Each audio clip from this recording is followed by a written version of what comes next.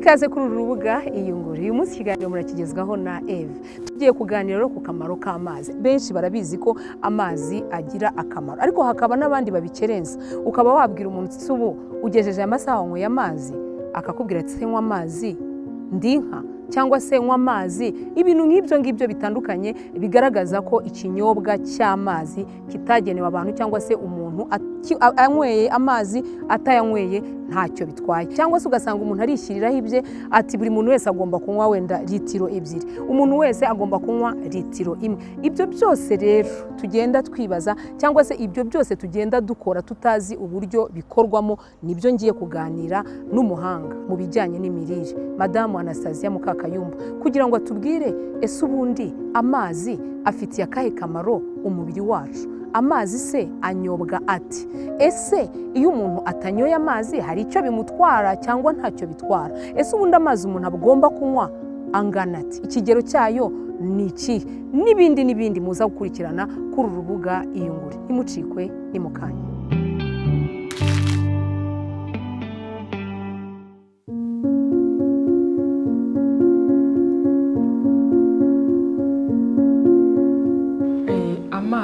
afite akamaro gatandukanye mu mubiri wacu.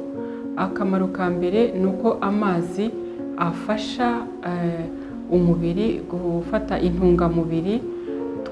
Zavuye mu biryo twariye ukazijyana muri za serire cyangwa se mu turemangingo tw'umubiri wacu dutandukanye. Amazi ni igice kinini kigize amaraso y'umubiri w'umuntu. Ni ukuvuga ngo nibura ku abana batoya bita renuriso baba bafite nibura mirongo irindwi na gatanu ku ijana by'amazi mu mubiri wabo. Abantu bakuru baba bafite mirongo itandatu ku ijana by'uburemere bw'umubiri wabo.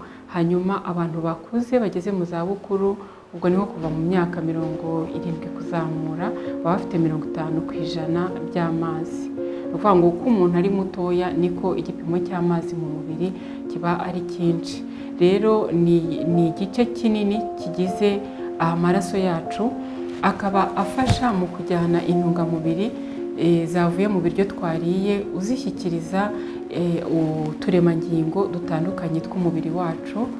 Amazi atuma umubiri wacu ushobora kuringaniza ubushyuhe. Ni ukuvuga ngo rore do terimoregirasiyo afasha umubiri guhangana n'ubushyuhe bwinshi. Iyo hanze hari ubushyuhe bwinshi akanafasha kuzamura ubushyuhe bw'umubiri igihe hanze hakonje.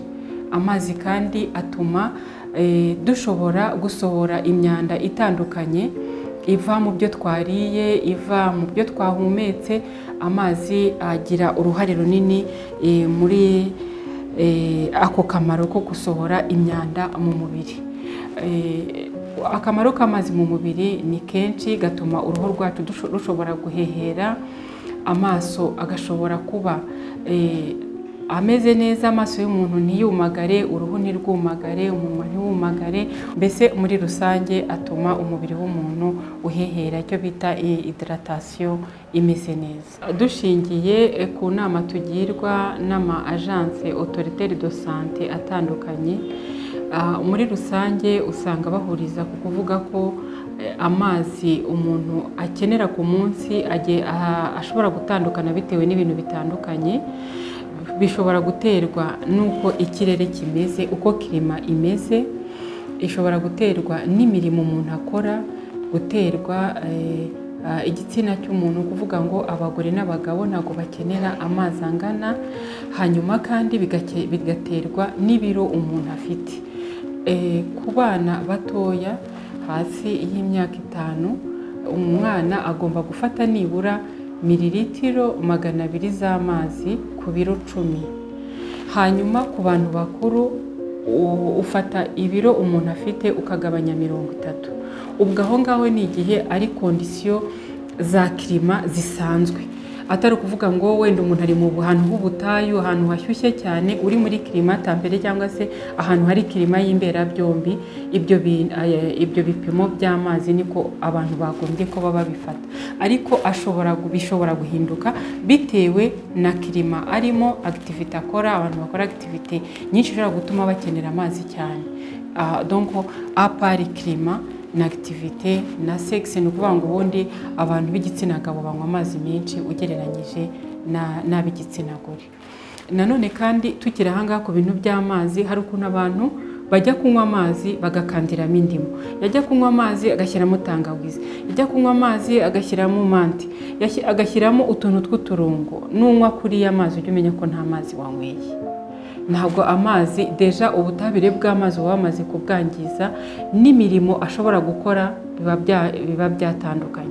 Ni ukuvuga ngo amazi ni ubutabire bugizwe na hidorogene na ogisijene dukuvuga ngo ni hashi dezo rero iyo ushyizemo tangawize na yo izanyemo ibitabire bwabyo ntabwo ari buze gushobora gukora umurimo ku mpyiko zawe nk'aho yari gukora ameze gutya yonyine.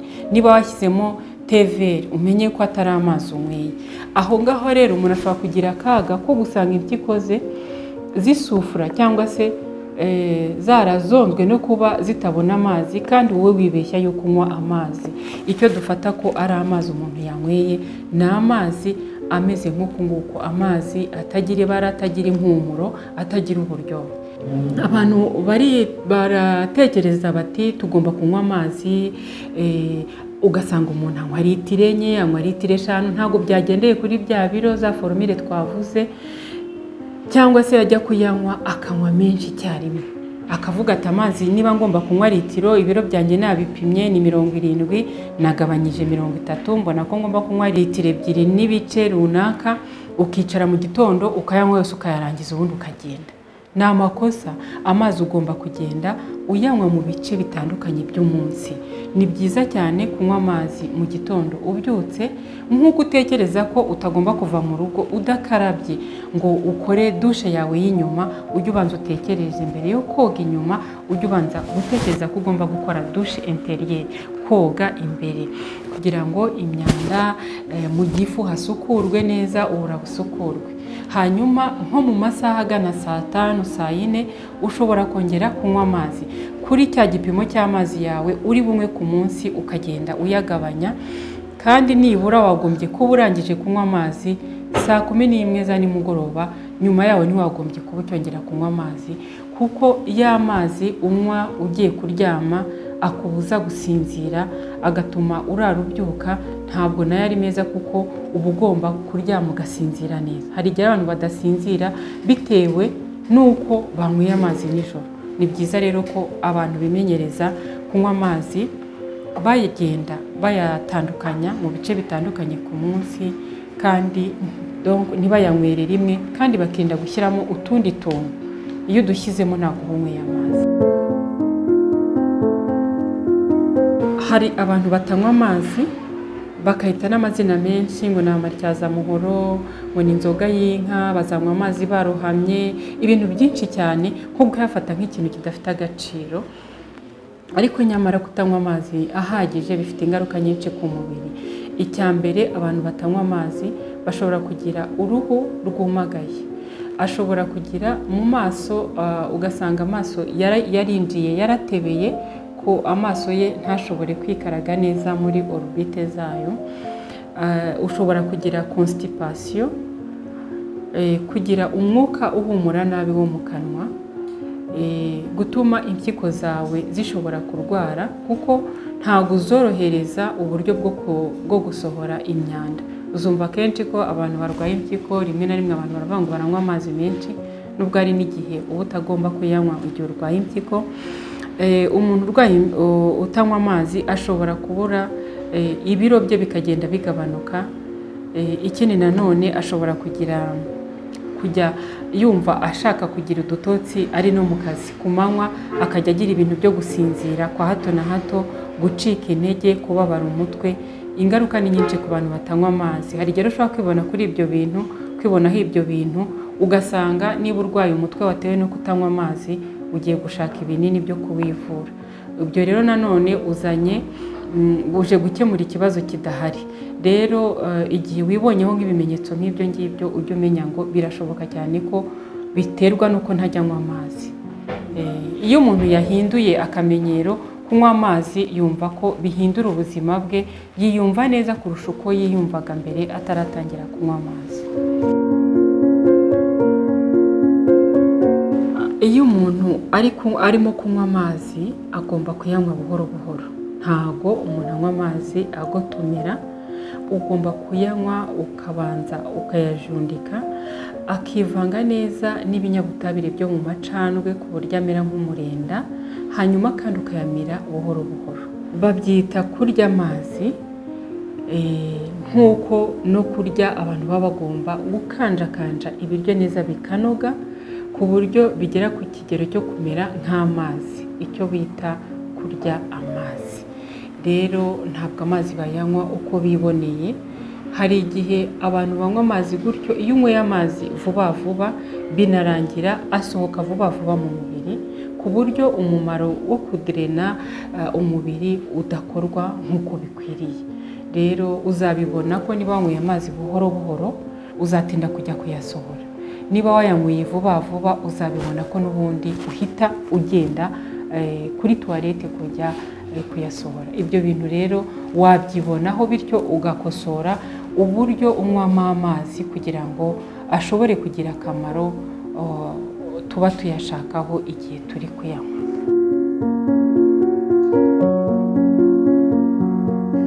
Mumaze kubyiyumvira rero ko hari amakosa rimwe na rimwe dukora tutabizi. Nkanjye ku giti cyanjye cyangwa se nawe hari ibyo tumenye.